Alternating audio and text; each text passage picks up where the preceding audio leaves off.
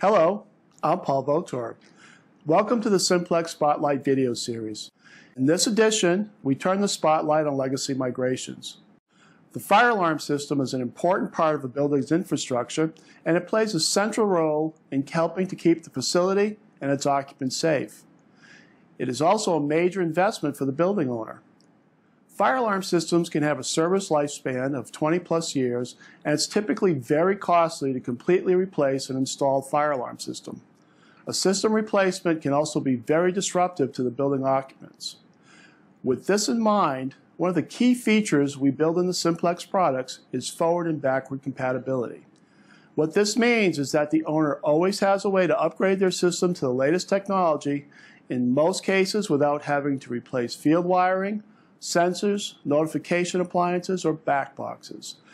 It also means that systems can be updated with minimal disruption to building occupants and their operations.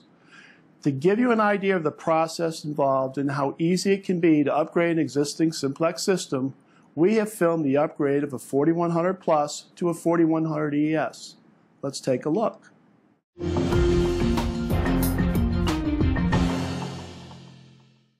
Upgrading a 4100 series panel to a 4100 ES is a relatively simple process that can be accomplished with minimal disruption to the occupants of a facility.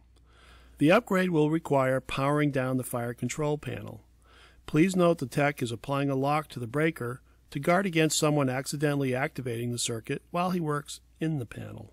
After power is disconnected, the technician will remove the retainer panel, disconnect the batteries, and proceed to remove the display and CPU card. The display is easy to remove. Simply remove the top display pins, lower the display, unplug the CPU card, and disconnect the display retaining wire.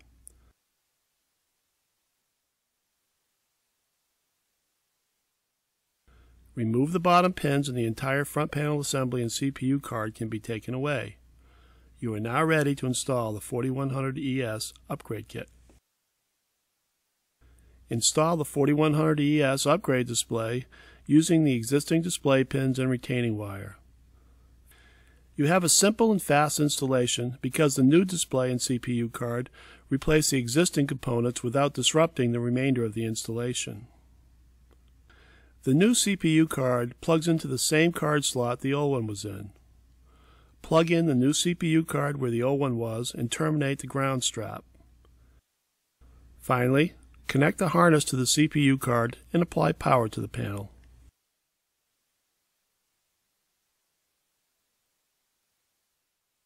You can connect the programming unit to the 4100 ES with the retainer panel installed.